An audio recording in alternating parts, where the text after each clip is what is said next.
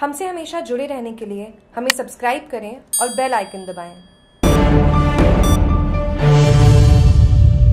दस हज़ार कार्यक्रमों के ज़रिए पाँच हज़ार जलाशयों को संरक्षित करने के अभियान का उद्घाटन करेंगे प्रधानमंत्री नरेंद्र मोदी। आबू रोड सिरोई देश के प्रधानमंत्री नरेंद्र मोदी 16 फरवरी 2023 को, प्रातः 11 बजे ब्रह्म कुमारी रिज के शांति वन में आयोजित जल जयन अभियान का वर्चुअली शुभारंभ करेंगे। ब्रह्म कुमारी रिज संस्थान तथा जल शक्ति मंत्रालय के संयुक्त तत्वाधान में आयोजित इस राष्ट्रव्यापी अभियान में संस्थान प्रमुख राजयोगिनी नादी रतन मोहिनी, भारत सरकार के जल शक्ति मंत्री गजेंद्र सिंह शेखावत, फ़िल्म अभिनेता नाना पाटेकर, प्रख्यात कवि व लेखक मनोज मुत्शिर अतिरिक्त मुख्य प्रशासिका राजयोगिनी बीके मोहिनी, बीके जयंती संयुक्त मुख्य प्रशासिका बीके मुन्नी तथा संस्थान के कार्यकारी सचिव बीके मृत्युंजय समेत वरिष्ठ पदाधिकारी उपस्थित रहेंगे।